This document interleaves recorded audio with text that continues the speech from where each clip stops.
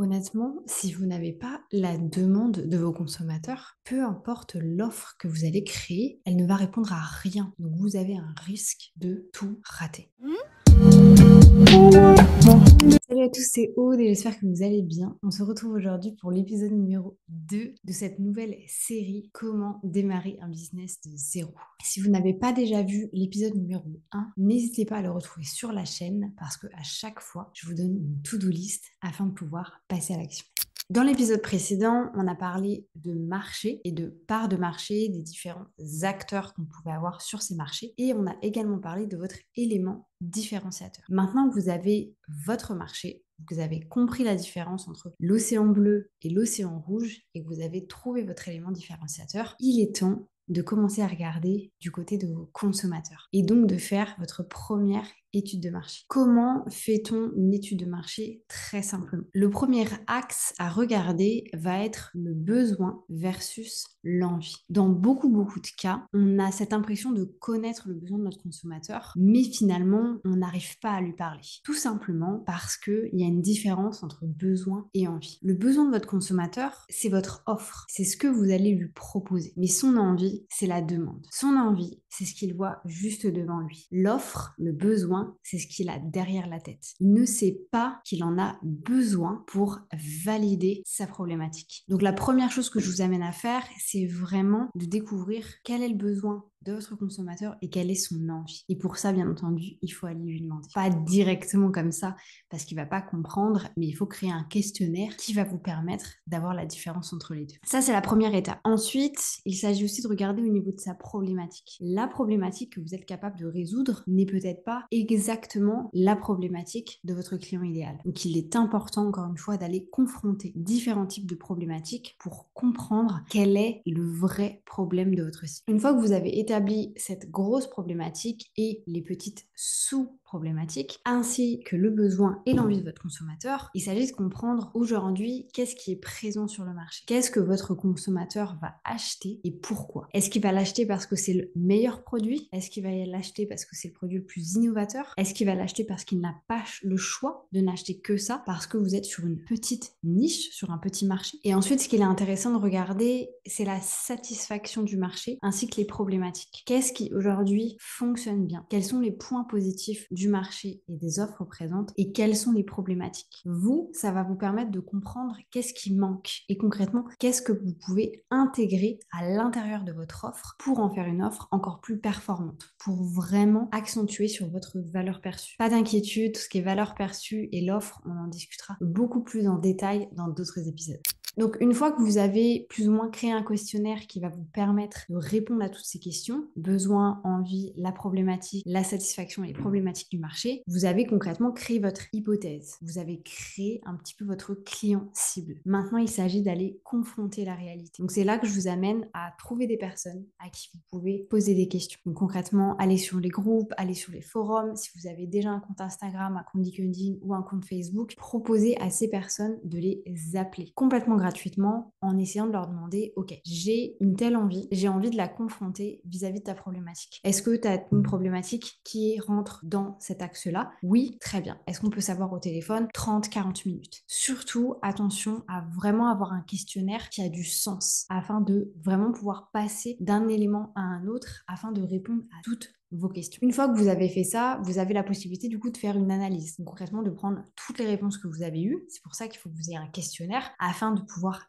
vraiment mettre les réponses les unes avec les autres et faire votre analyse. Et en fonction de ça, c'est là que vous allez déterminer toutes les problématiques de votre consommateur, vers quoi il va aller si vous n'existez pas, est-ce qu'il est satisfait, pas satisfait et quelles sont les problématiques? Attention, je pense que c'est important de le dire, mais tout ce qui va être client idéal, cible, ce genre de choses évolue énormément. Pourquoi? Parce que les marchés évoluent, la demande évolue constamment également du fait que le marché évolue. Donc c'est important que vous restiez toujours en lien avec votre client pour que vous puissiez comprendre les nouvelles problématiques, quelles sont les problématiques qui sont déjà entre guillemets validées et vraiment vous concentrer sur le besoin essentiel. Et en faisant ça, c'est là que vous allez pouvoir vraiment trouver ce qu'on appelle la fameuse niche. La niche, voire la sous-niche, moi j'appelle ça la super niche.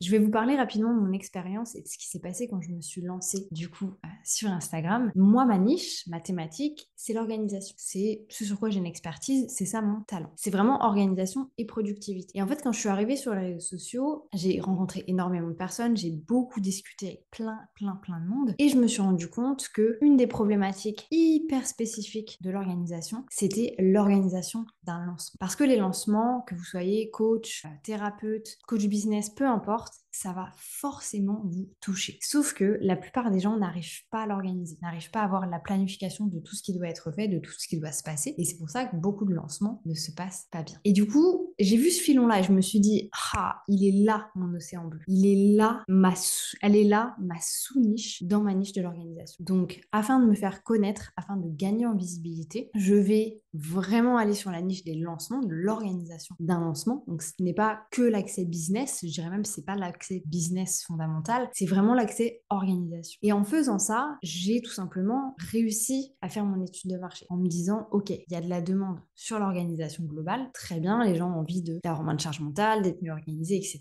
Mais j'ai essayé de me créer mon océan bleu. Et mon océan bleu à moi, c'était d'aller sur la super niche qui était l'organisation d'un lancement. Donc là, je vous partage vraiment des choses qui, je devrais pas dire ça sur Internet, mais euh, voilà, je trouve que c'est intéressant pour vous de voir aussi bah, comment moi ça s'est passé, comment je suis passer de mon océan rouge à mon océan bleu, tout en prenant ma niche et tout simplement en me super nichant suite à ma recherche sur mon client idéal. Donc une fois que vous aurez fait tout ça, je vous dis pas de vous super nicher, je vous dis pas d'aller dans une niche qui est hyper hyper précise, absolument pas, mais je vous dis juste que quand on démarre, c'est très intéressant de se spécialiser et de trouver la problématique que vous allez pouvoir régler dans un premier temps. Quitte à ensuite expand aujourd'hui, moi c'est ce que je suis en train de faire. Euh, n'hésitez pas à vous abonner à cette chaîne parce que du coup en mars-avril, il y a deux formations qui sortent. Une première formation sur l'organisation et vraiment bah, comment est-ce que vous pouvez vous débarrasser de la mentale.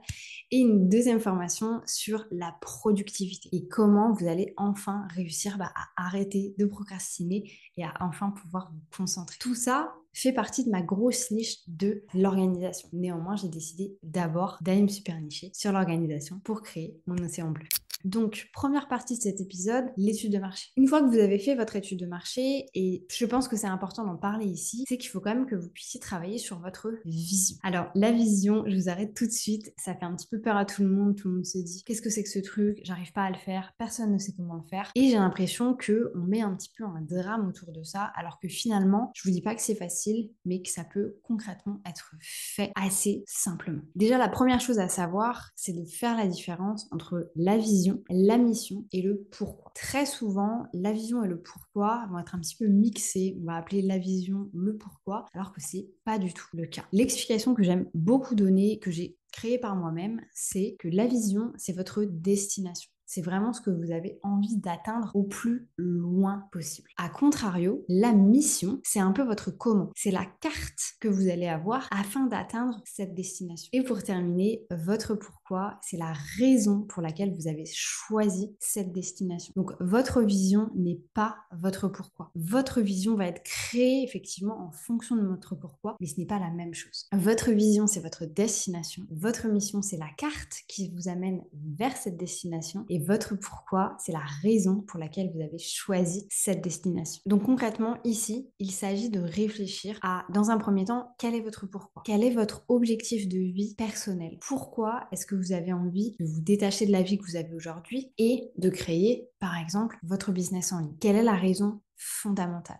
Moi, je vais vous expliquer ici mes trois raisons. La première, c'est que je veux être libre financièrement. Je veux pas être attachée euh, à un certain salaire, surtout dans le monde dans lequel on vit aujourd'hui pour moi, c'est essentiel de me dire que si demain je dois faire plus d'argent, j'ai la possibilité, j'ai le temps de le faire et j'ai les capacités de le faire. L'exemple que j'aime bien utiliser aujourd'hui, c'est que dans la situation dans laquelle on est maintenant, il y a eu un petit peu toute la panique euh, autour de l'électricité, par exemple, en France. Et c'est vrai que la réflexion qu'on s'est fait avec mon conjoint, c'est putain, comment les gens qui gagnent 1200 euros par mois, s'ils doivent payer beaucoup plus d'électricité, comment ces gens-là vont faire? Parce que nous, concrètement, moi demain, je dois gagner plus d'argent. Et eh ben, je fais plus de comme je mets plus en avant mes produits, je mets plus en avant mes coachings, je passe de 50 heures semaine à 80 heures semaine. Je peux le faire, je peux gagner plus d'argent. Et ça, pour moi, c'était essentiel d'avoir cette capacité-là. La deuxième raison, c'est que je souhaite, si un jour je décide d'avoir des enfants, de pouvoir m'occuper d'eux comme je le veux. J'ai vécu personnellement avec des parents qui avaient des postes très importants et du coup j'ai beaucoup vécu euh, à la garderie, à la crèche, avec mes frères et sœurs et pas tant que ça avec mes parents quand j'étais vraiment petite. Et euh, même si ce n'est pas du tout un trauma, parce que j'ai eu une enfance fantastique, je ressens le besoin, moi, de passer du temps avec mes enfants et de me dire que bah, je suis pas obligée, quand ils auront mois, de les envoyer à la crèche ou quoi que ce soit. Je veux pouvoir les garder avec moi si je souhaite le faire. Donc ça, c'est ma deuxième raison. Et ma troisième raison, elle est extrêmement matérialiste. Comme certains d'entre vous le savent, je passe mon permis bateau et j'ai juste envie d'avoir un bateau. C'est un de mes rêves. C'était un des rêves de mon papa qui n'a pas réalisé pour des raisons personnelles. Et euh, voilà, ça s'est un peu transféré sur moi. Donc j'ai extrêmement envie d'avoir un bateau. Sauf qu'un bateau, c'est grosse charge, c'est beaucoup d'organisation. Donc je veux aussi avoir la possibilité de pouvoir gérer tout ça. Donc ça, c'est vraiment mon pourquoi. Et c'est mon vrai pourquoi. Je vous le partage aujourd'hui, je devrais peut-être pas le faire, mais c'est mon vrai pourquoi.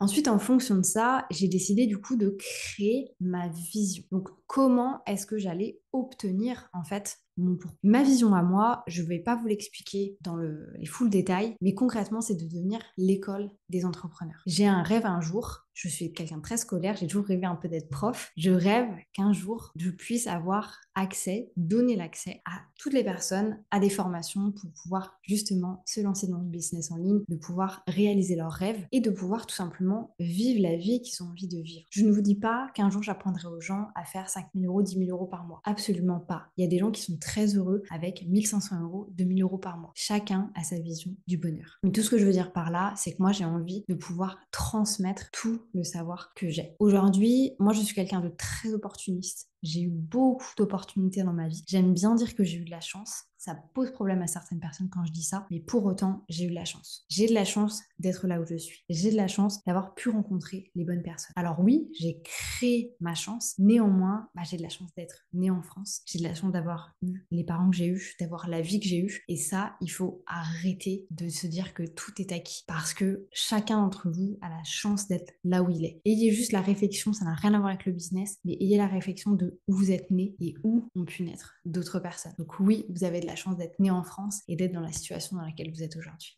Donc ma vision, c'est de devenir l'école des entrepreneurs. Et ma mission, comment est-ce que j'ai décidé de faire ça? C'est tout simplement, donc le plus possible, par rapport à mes formations, mes accompagnements, c'est de donner du sens. Aujourd'hui, on est beaucoup dans une transmission pédagogique du comment. Comment il faut faire, comment on fait telle ou telle chose, sans avoir pour moi les fondations de la raison pourquoi on le fait et du coup du sens pourquoi on le fait. Et en fait, j'ai appris avec les années, justement en faisant de la formation, en coachant énormément de personnes, parce qu'aujourd'hui j'ai beaucoup d'expérience dans le coaching en ligne, mais avant ça, j'ai coaché une trentaine de personnes sur des formats très très longs. C'était des formats sur un an, sur deux ans. C'est pas du tout ce qu'on voit aujourd'hui sur les réseaux sociaux. Et en somme, j'ai compris que ce qui était important finalement, c'était pas le comment, mais c'était bien le pourquoi. C'était de donner du sens. Parce que finalement, quand vous allez apprendre à quelqu'un pourquoi il doit faire quelque chose, il va avoir plus de capacité à trouver son propre comment et à créer sa manière de le faire. Si je donne mes manières de faire à quelqu'un, si ça n'a pas de sens pour lui,